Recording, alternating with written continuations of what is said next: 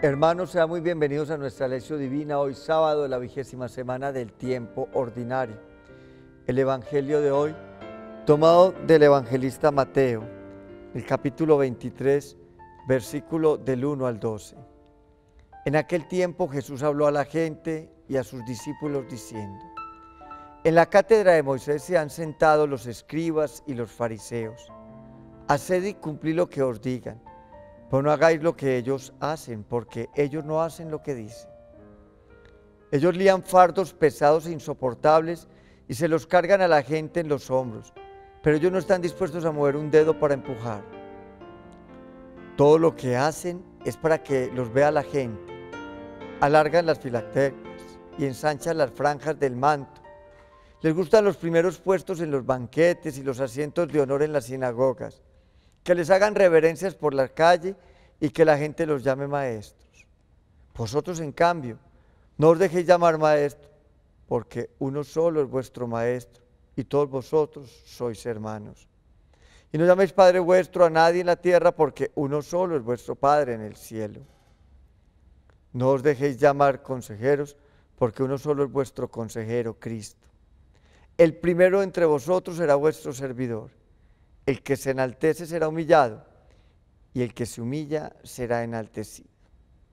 Palabra del Señor.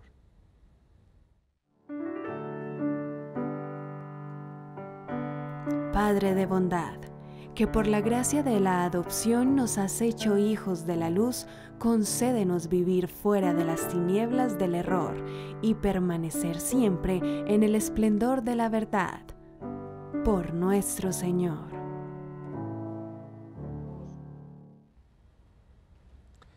Bien, hermanos, Jesús está diciendo que en la cátedra de Moisés, ¿cuál es la cátedra? La cátedra es el lugar de la enseñanza de Moisés. Se han sentado y se han ubicado muchos.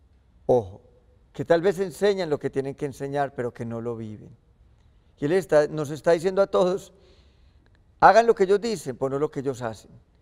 ¿Por qué? Porque no hay autoridad, porque no hay coherencia de vida porque cargan a sus hermanos con una cantidad de cargas pesadas que ellos no se atreven ni siquiera son capaces de llevar. Y hoy creo más que nunca que este Evangelio es vigente, porque muchas prácticas de fe nuestras van en esa línea, en la línea del cumplimiento de normas, de llevar cargas pesadas, de vivir más desde la apariencia, de que nos aplaudan, de ser reconocidos, y esa no es la lógica del reino. La lógica del reino es la del hombre escondido en la bondad, es decir, aquel que hace el bien sin que tengan que reconocérselo, aquel que ofrece con una mano lo que no quiere que sepa la otra, aquel que se convierte en el servidor de los demás y nos dice que esa es la clave para identificarnos y reconocernos. El que quiera ser el más grande dentro de la lógica del reino no es como el grande dentro de la lógica humana de buscar puestos, privilegios, reconocimientos, aplausos y honores, es que se haga el servidor de los demás. Lo más lindo de este Evangelio es que uno sabe, como en todos, que Jesús hizo lo que dijo. Esa era la autoridad de Jesús. Él se hizo el servidor de los hermanos. Él lavó las pies a sus discípulos. Él acogió al rechazado. Él besó al pecador. Él se juntó con el que nadie se juntaba.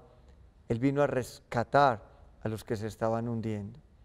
Y si bien nunca rechazó a nadie en su corazón, si tuvo una opción preferencial por aquellos que nadie optaba, que desde las lógicas humanas y la ley judía no podían ser ni siquiera reconocidos dentro del corazón de Dios.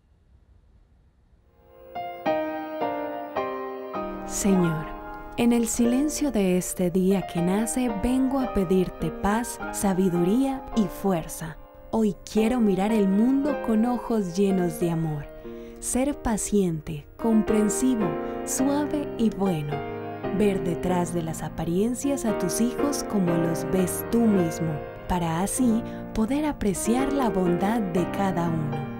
Cierra mis oídos a toda murmuración, guarda mi lengua de toda maledicencia, que solo los pensamientos que bendigan permanezcan en mí Quiero ser tan bien intencionado y justo que todos los que se acerquen a mí sientan tu presencia. Revísteme de tu bondad, Señor, y haz que durante este día yo te refleje.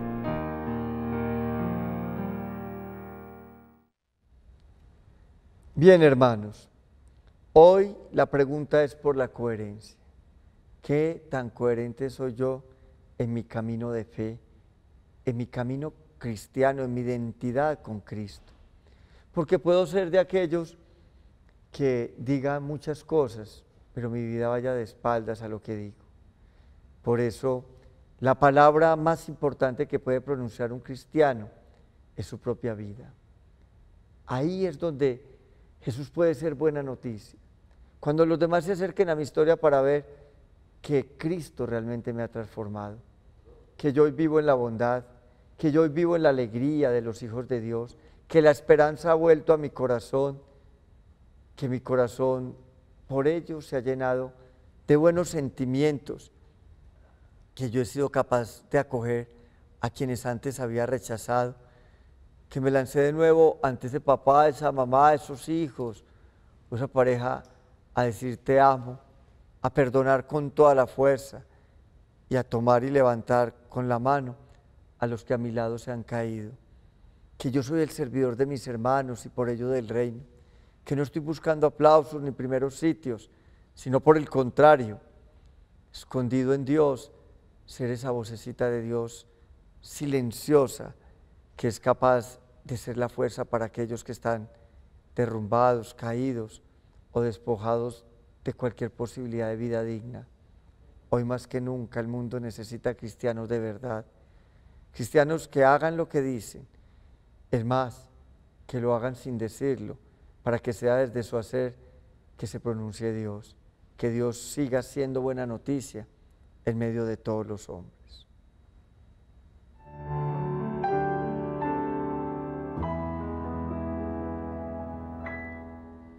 Una oración hoy día sábado de una manera muy especial tomados de la mano de María. Los carmelitas siempre consagramos el día sábado para honrar a Nuestra Señora, la Reina y Hermosura del Carmelo. Que de la mano de ella seamos esos servidores fieles, que como ella seamos capaces de salir, auxiliar a quienes necesitan de nuestra compañía en momentos difíciles.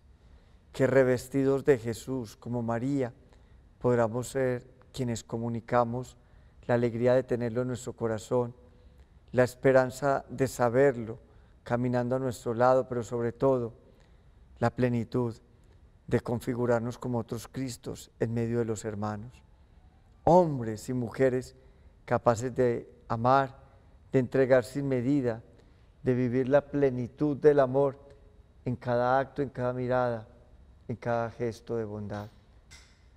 Que a través de María el Señor derrame sobre la vida de cada uno de nosotros su gracia, su plenitud, su bondad y su bendición. En el nombre del Padre, el Hijo y del Espíritu Santo. Amén.